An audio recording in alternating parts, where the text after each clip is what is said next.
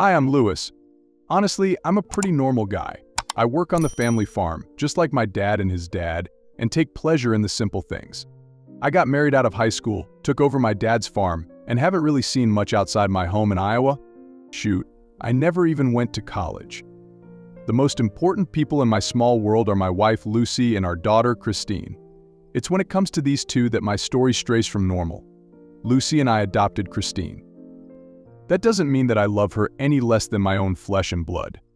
In fact, I love her more fiercely than anything else in the world because of how much of a deadbeat her bio dad is. It shouldn't have been like that because her bio dad, Mark Johnson, was my best friend. I thought he would be better than he turned out to be. Mark and I were close from a very young age. His dad, Matthew, and my dad were buddies and neighbors. In fact, they were both also connected in the way small farmers are, working together for better rates and trying to make sure we, didn't get screwed over by big companies. Because of that, Mark and I often spent a lot of time together and had basically been raised like brothers, playing padiddle and goofing off. As we grew older and developed our own personalities, the two of us went on different paths. I was always the person who was comfortable building on what my parents had done. Farming was in my blood, and I wasn't really looking to change that. Mark, on the other hand, was always fascinated by life in the city. In most aspects, we were really different. I looked at high school as a bore and preferred to learn hands-on. I mean, not that I was an idiot, but I just didn't get the point of learning English and maths when it wasn't going to help me with harvesting or fixing our old John Deere. Mark, on the other hand, had the highest grades we had ever seen. Despite our differences, we were still best friends. As graduation rolled around, Mark got admission to the University of Chicago, one of his dream colleges. Naturally, his amazing SAT score and boatload of AP classes helped him finance the whole thing too, and we both knew that it was going to be a fork in the road for us. I was planning on proposing to Lucy, who I'd been with ever since I was 16. Even now, some people think it's crazy that I settled down with the first girl that I was with, but our relationship is strong and built on love. That conviction helped me with my decision all those years ago, and Lucy had the same principles and long-term goals as me. A week after my wedding, Mark went off to Chicago. We were still close, but he began to change slowly. City life was fast-paced, and Mark always had a little trouble with girls. Not in the sense that he was socially awkward, it's just that he was very short-term with his relationships. He never had a proper relationship in high school, and always had issues with commitment. Once he got to college, things went haywire. From his conversations with me, it felt like he had a different girlfriend each week. Now, I'm not one to judge what other people do, but it felt like he didn't talk about anything except girls. His grades also dropped a fair bit in college, and things back home with his family also got rough. Mr. Johnson had never really been on board with him leaving the farm. Even though Mark had gone off to college, there was always some tension with his dad about coming back home. I guess Mark wanted to leave farming altogether, while his dad thought that he would eventually come back. Eventually, my best friend became more of someone to keep in touch with. He also began to judge me and Lucy for being docile and not adventurous like him. After college, he began to work in sales, kind of styling himself like a Midwest Don Draper. Mark became less and less important in my life, and I stopped thinking about him until 10 years ago. All of a sudden, he called me while I was relaxing at home. Hey man, something happened. I know that you're close to my dad, do you think you could talk to him with me? Oh shoot, is everything alright? Um, yeah man, I can talk to your dad. Yeah, thanks. Actually, I mean, how about I talk to you first? I'm going to come back in a few months. Let's talk then. I spoke to Lucy about it, and both of us were worried. I didn't know what was going on with my friend, but when I spoke to him on call, he was on edge. I did try and pry the full story out of him during later calls, but Mark was insistent that I meet him in person. Come spring that year, Mark met me at the old arcade where we used to hang out. Okay, I'll spit it out. I got a girl pregnant. She wants to keep it, but I'm not ready to be a father. What? How did this happen? I don't know, okay. I just don't know. She's some chick from my old college. We met during a party, and I was a little hammered. I was hanging out with some people from my old fraternities. Uh, I don't remember if we used protection. You don't remember? Dude, what did you do? This isn't something you can hide from your dad, man. I'm not going to hide it, okay? That's why I came to you. I was hoping that you could talk to him about it. Maybe after I leave? When Mark uttered those words, I knew the distance between us as friends was too great. I mean, first off, he was stupid enough to get a stranger pregnant, and secondly, he wasn't even thinking about what being a father meant. All he was concerned about was how he could avoid getting his ears boxed by his dad. You can imagine how things went after that. Both of his parents were livid, and the girl, Bella, wasn't interested in getting married to a man who was so much older than her. A baby out of wedlock was almost unheard of in our small town at least, definitely hushed up when it happened, but both Lucy and I understood her perspective and took the girl's side. The best that Mark could do was try and co-parent the baby and ensure that his baby mama didn't have to drop out of college. In the months of pregnancy that followed, it was clear that Mark wasn't going to be a stand-up guy. He focused on his work and didn't give any time to Bella. His parents thankfully stepped in and tried to give her some kind of support. Bella's parents were from Mexico, and she hadn't brought up the fact that she was pregnant with them either. They were really conservative, and hell, Pell did. She was only 21. Looking back on it all, I wonder how tough it must have been on Bella, trying to hide an entire pregnancy from her family, while trying to navigate co-parenting with a person who was more interested in getting promotions and partying than learning about babies. Lucy and I were also planning to have kids, but decided to put this on hold and support Bella as best we could. I don't know how, but we felt a little guilty about how close we used to be with Mark and wanted Bella to know that not everyone from our town was as spoiled as he was. All these things melted away when Christine was born. I was named her godfather and had a special connection with her since her birth. Speaking of which, I recall that Mark barely even made it to her birth, while Lucy and I traveled to Chicago the week of Christine's due date. Bella was tired and stressed and seemed terrified of being a mother. Lucy was like a big sister to her as well, and we both empathized with her a lot more than the jerk that my best friend had turned into.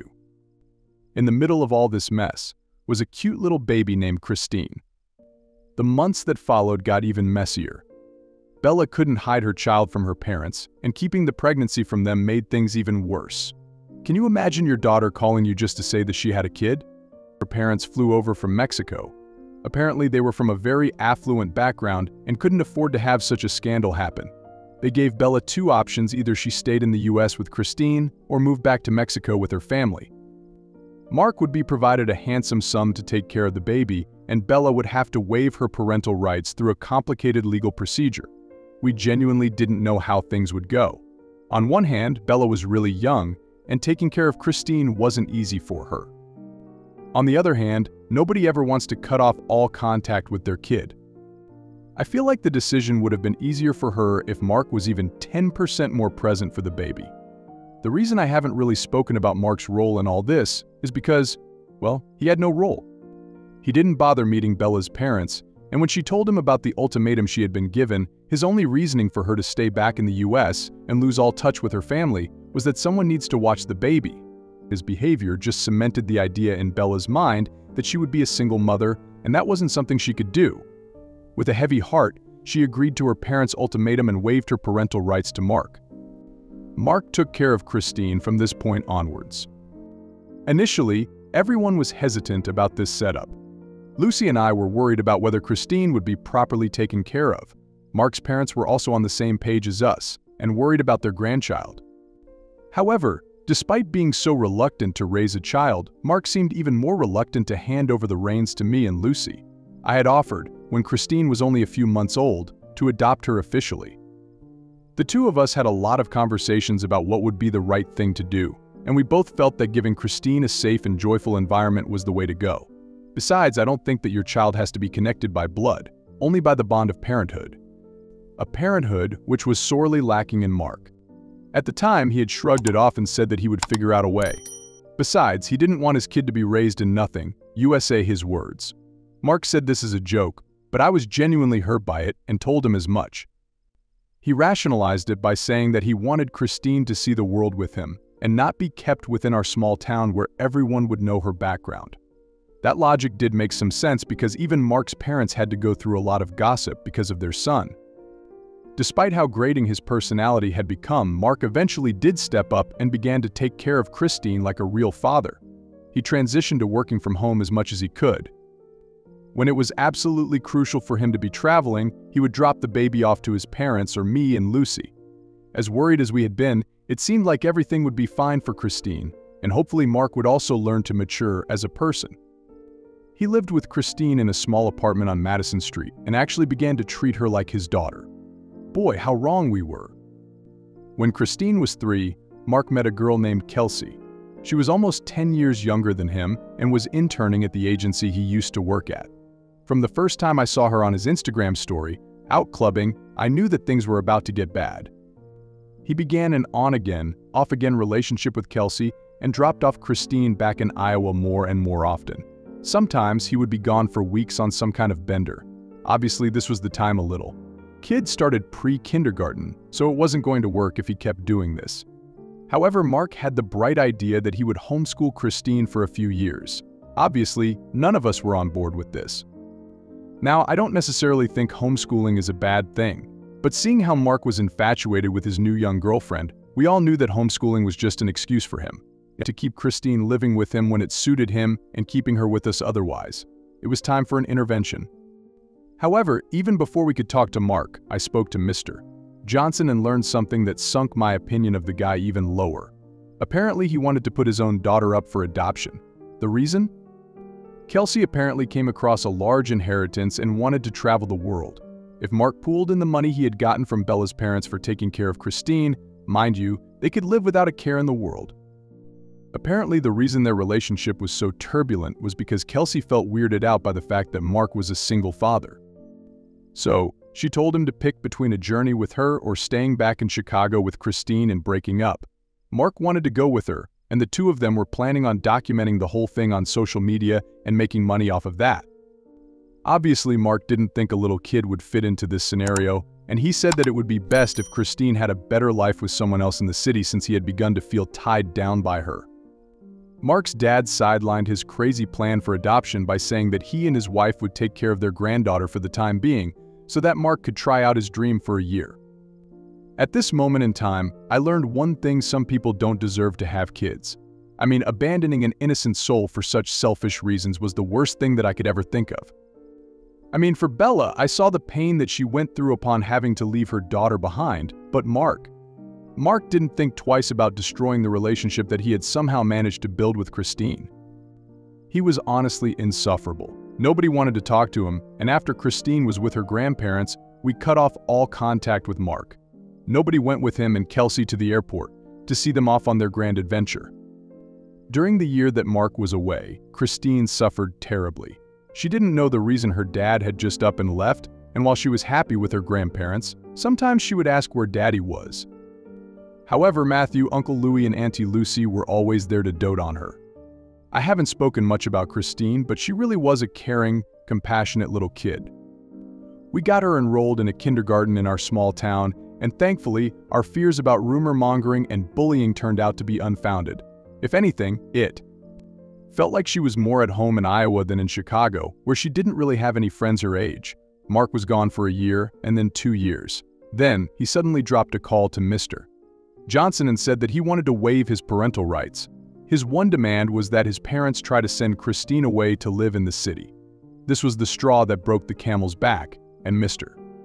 Johnson hatched a plan that would ensure that Mark couldn't mess with his daughter's life anymore. He agreed to Mark's claims and then decided to have a small chat with me. Son, you and I both know that we're not going to give the kid up to some random stranger. To be frank with you, I don't even know how Mark thinks that's going to happen.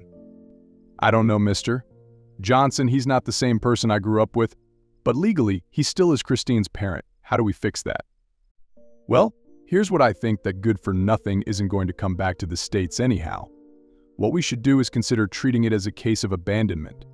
I have a few friends in court who would be able to help us take over Christine's legal guardianship. Oh, that's great. So you'll be taking care of her, Mr. Johnson? No, that's what I wanted to talk to you about. The wife and I have been getting on in years. By the time Christine's 18, we'd be touching 70. After Mark can't interfere, I want you and Lucy to take care of Christine. I think she's more your kid than she is my son's. He specifically told me that I shouldn't consider having you two adopt her because he thinks that you guys aren't the right fit, but I'm not listening to him a moment longer. So that became the plan. Mark was in touch with his dad during this time, and we lied to him about the whole process. Sometimes he'd be in Spain, sometimes in the Maldives, so he didn't really question it too much. Hell, he didn't come back for another year. During this time, Lucy and I became Christine's legal guardians. We gave her the best life that we could muster, and she loved it. I remember when she was seven, Christine called us mom and dad for the first time. Despite being so young, her precocious nature helped her realize that her real father wasn't looking out for her at all, even if she had some early memories of him. With this high point of stability, also came a low point somehow, Mark was back in the US. He'd been able to build a nice career as an influencer with Kelsey, and they were done traveling for the time being. Instead, he was settling down in Chicago and going back to his old life. Albeit with a lot more fans of his life, I wonder what they would think of the real Mark.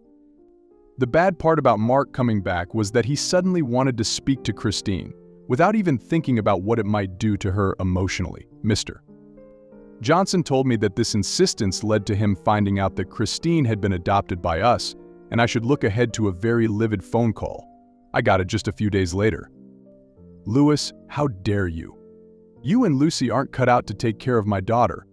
I don't want her living in our small town, man. I can't believe all of you lied to me. Mark. Listen, she likes it here. If anything, you were the only person who couldn't take care of your daughter. I've spoken to Christine about this after your dad told me you were back in the US she's not interested in talking to you. Maybe when she's older, she'll reach out to you. Not right now. Oh, come on, she's just a kid. How could she know what she wants? I've got a nice home and Kelsey and I are planning on getting married too. I think she'd be fine with Christine being a part of our family now. Mark. You don't get to pick and choose when she's a part of your family. This conversation is over. Just you see, I'm still their father, you hear? You hear me, lay I hung up on him and braced myself. Sure enough, Mark served us a summons to family court. Things were going to be messy over the next few months, or so I thought, the case eventually dragged on for a whole year. Thankfully, it was finally settled in my favor, and something even crazier happened someone found out about the whole thing on social media.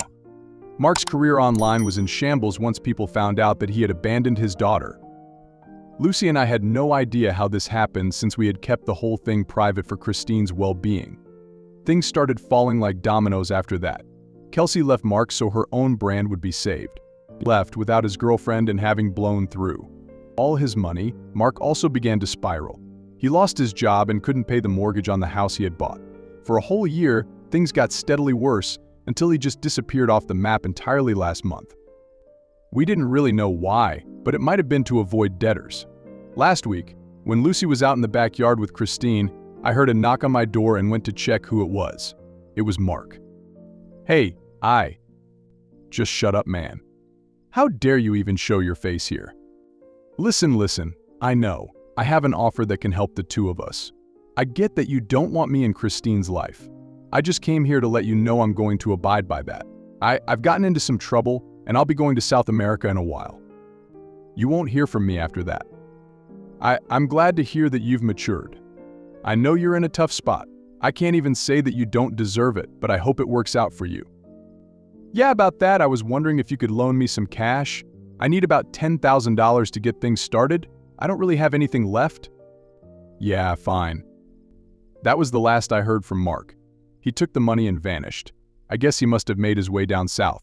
No money, no girlfriend, and no daughter. This whole story doesn't really have much of a moral, but I just want to say that you have to do right by the people you bring into the world. If you don't, karma will get you. That's the only moral you can learn from this. Thankfully, Christine is doing even better than ever. She's gone to parks, played softball, and made a best friend, things that she might not have been able to do if she was raised by Mark. Lucy and I are proud to call her our daughter,